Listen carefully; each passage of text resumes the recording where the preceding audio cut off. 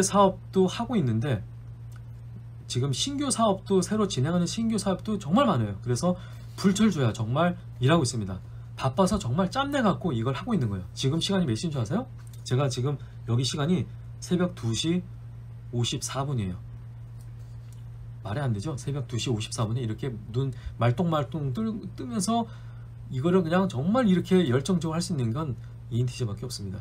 다른 타입들은 이거 피곤해서 못해요. 할 필요성도 못 느끼고 어떠한 뭐 사명도 없고 제가 뭐 누구, 인정 바라는 것도 아니고 그냥 좋아서 하는 거예요.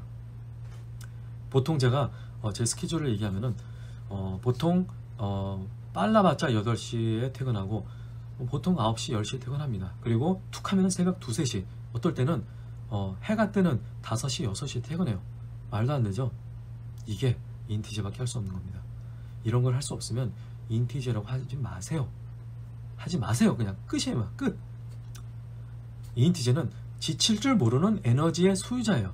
어, 누구의 도움도 필요하고 어떤 누구의 어떤 그 어, 떠한 그뭐 어, 북, 북도듬 어떤 이렇게 자꾸 인커리지면 이게 필요가 없어요. 그런 것도 없이 할 수 있는 게 ENTJ예요.